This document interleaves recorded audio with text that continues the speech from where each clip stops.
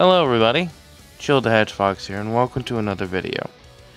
This is a very different video compared to what I would normally make. It's going to be really short, but for a good reason.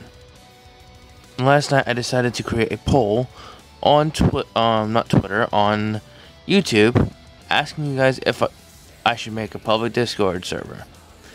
And well, by the results, you guys really want me to make a public Discord server. So, I have taken it upon myself to go ahead and create it. Meet the Nefarious HQ. That's what we're going with. And be all I can say is stick by the rules and do not disrespect anybody in the server and you'll have a great time there.